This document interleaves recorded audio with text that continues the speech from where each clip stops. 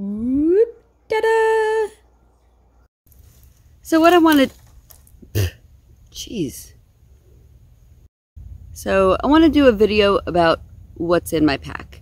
Um, I want to have it. Jeez, these briars are everywhere.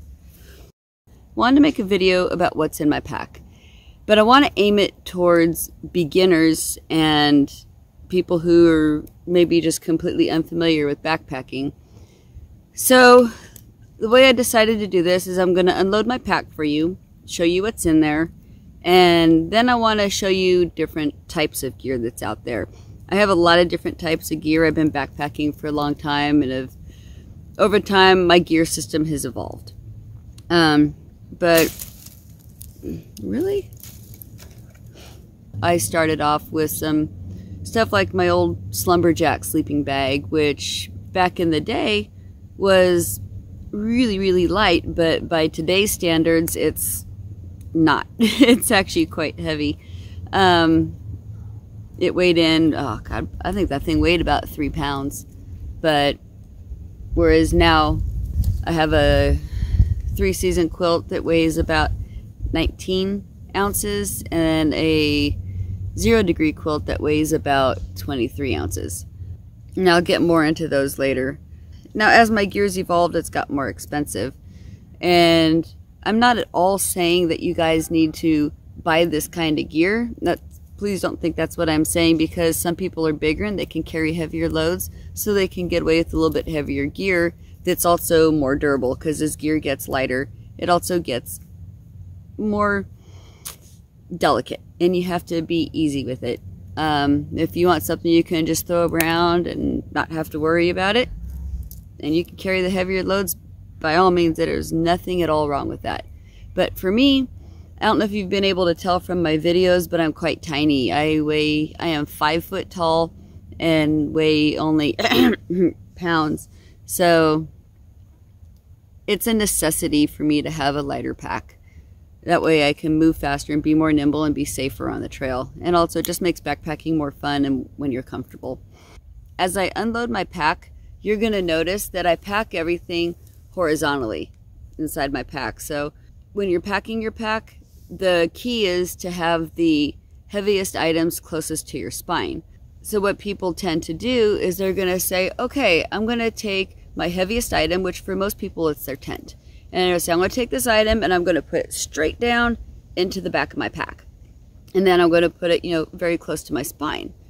So now you've got this one heavy item lengthwise, and then you're playing this little balancing game, trying to make your pack balance. So what I've figured out works good for me, I'll make I'll pack everything horizontally. So what that does is it helps everything stay very even.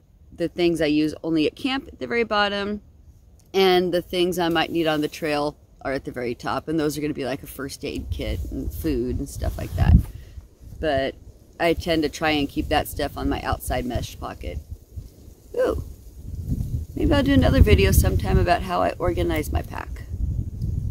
So this next part, my backpacking buddy Mags helped me film.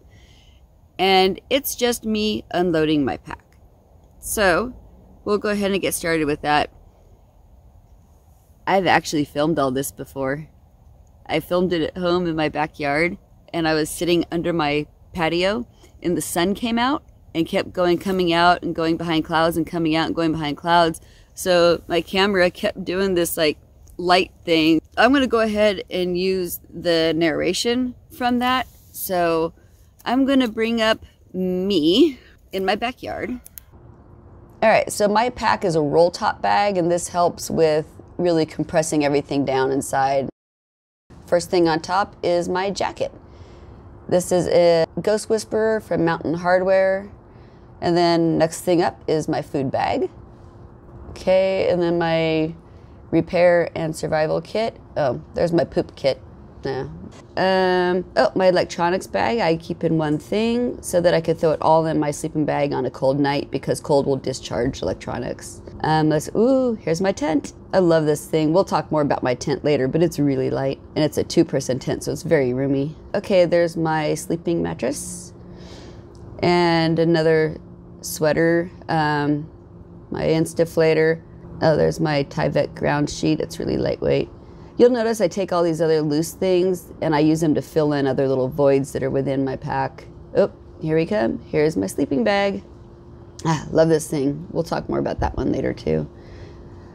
This is my Cuben fiber bag that has everything that belongs in my tent. It compresses down very small, but right now it just looks big because it's uncompressed. All right, so that's everything in the main compartment. Oh, here's Bubbles. She's my spirit animal, and I also keep my first aid kit in the back of her head. So, dual use item. Win win. Okay, this is my rain gear. I no longer carry a whole rain suit. I just carry an umbrella and a rain kilt. Okay, snacks. A little ditty bag full of random stuff. Oh, and here's, let's dump my toothbrush on the ground. Oh, and put it in your mouth. That's smart. Okay, but that's all in a OPSAK bag. Uh, so you got air horn, we got mace, whistle, and then, oh, these are my sun gloves. Let's not watch me put those on. Okay, oh, and here's my butt pad. Uh, okay, I'm gonna come sit down. All right. Thanks, Mags. All right. Then I got my inReach that I keep on my shoulder. And then, okay, now we're getting into my hip belt pocket here. I got my inhaler.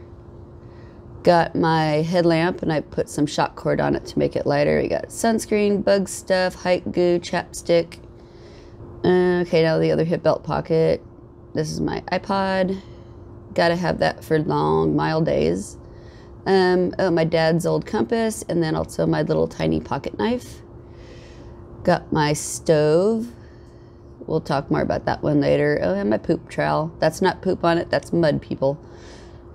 Well, that's everything that's in my pack. So now I want to kind of get into the different types of stuff that's out there. And we're going to start off with the big three. The big three are going to be your heaviest items. They're your pack, your tent, and your sleep system.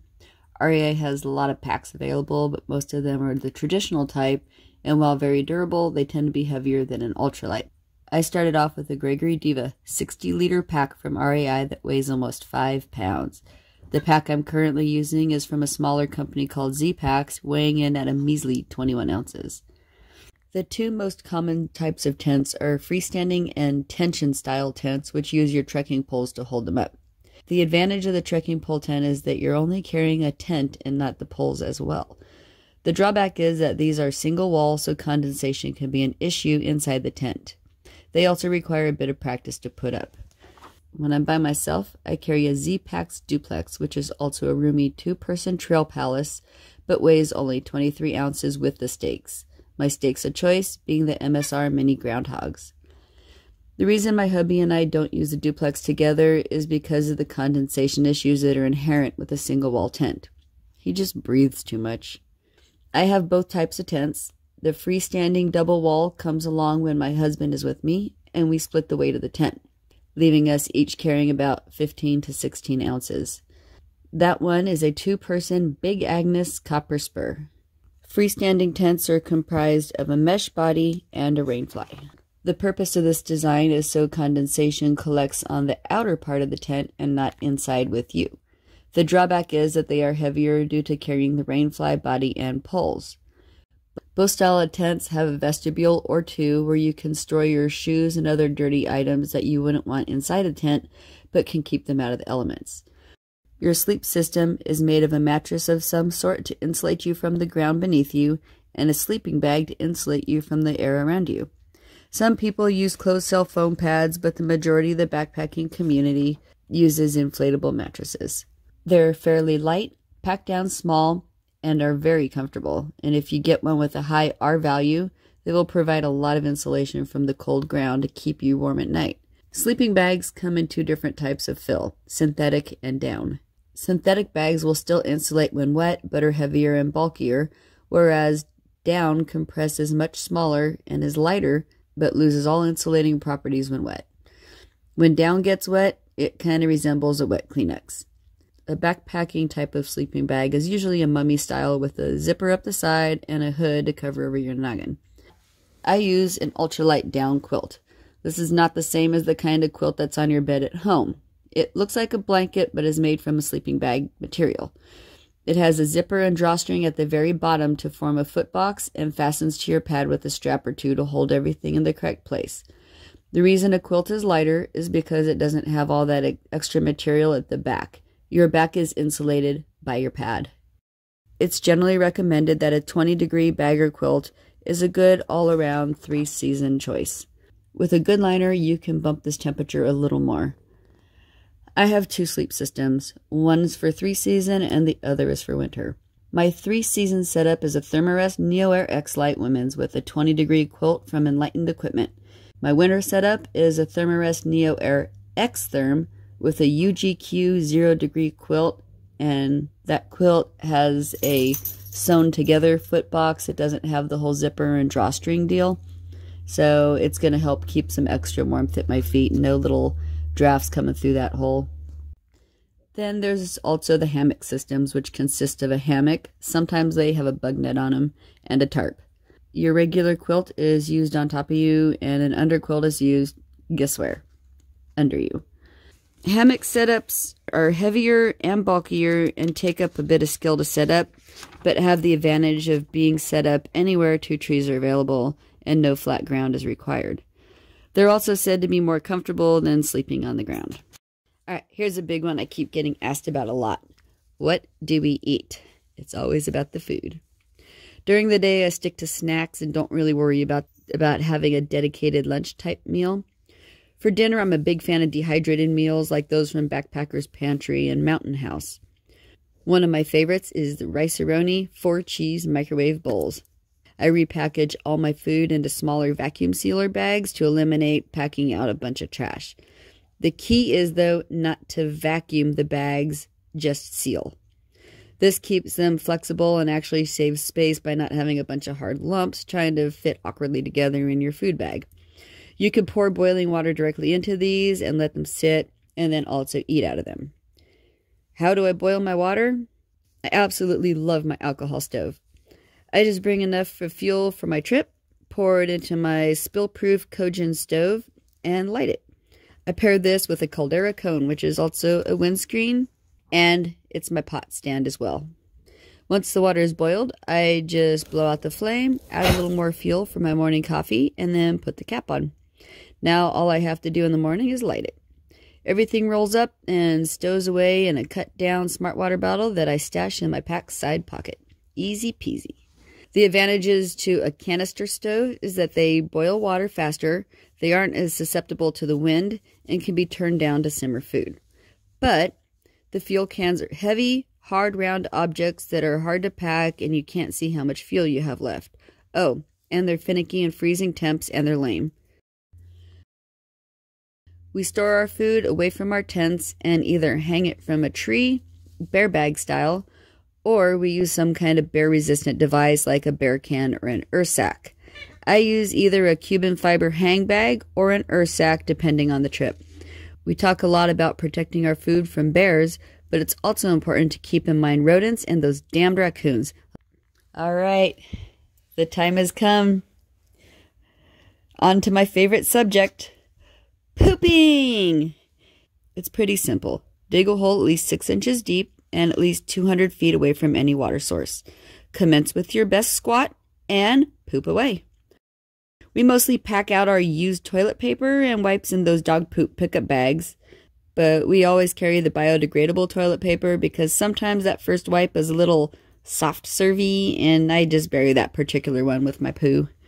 So we cover the stinky hole with dirt, plop a rock on top, and walk off with a new lighter you. For us girls, the pee rag is a lifesaver. You hang this on the outside of your pack. That way the sun will dry it and the UV rays will, it's said, sanitize it. I'm not sure about that, but I've used the pee rag for years and I've never had an issue with it stinking. Becca brought up a good idea. She said it would be neat to hear what my luxury items are and also the things that I used to carry but later found out I didn't need. The first one is my pillow topper.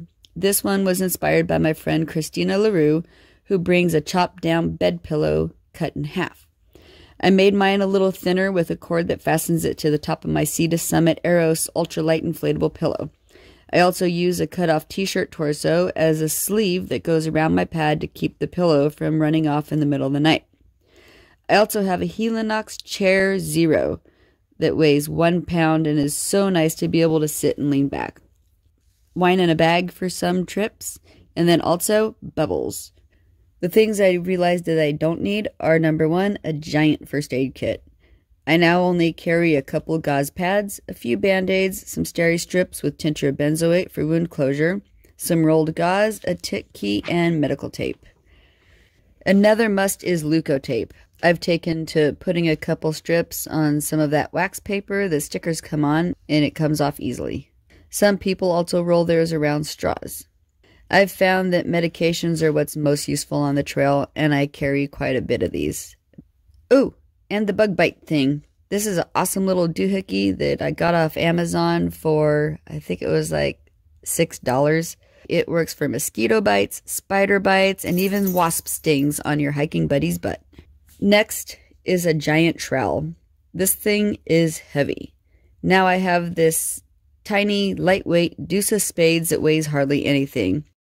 Water filtering bags, gravity systems, etc. I've ditched all that and now have a dedicated smart water bottle for dirty water and just screw my filter directly to that. Also, on water, I no longer carry a CamelBak. I made a little Cuben fiber bottle holder on my shoulder strap, and I also carry smart water bottles in my pack side pockets. I really like the smart water bottles because of the long, thin shape. means they don't take up a whole lot of space in my uh, side pockets. A dedicated camera. I no longer carry one of these because my new phone takes great photos and it's all I need. All right. So, what do you think?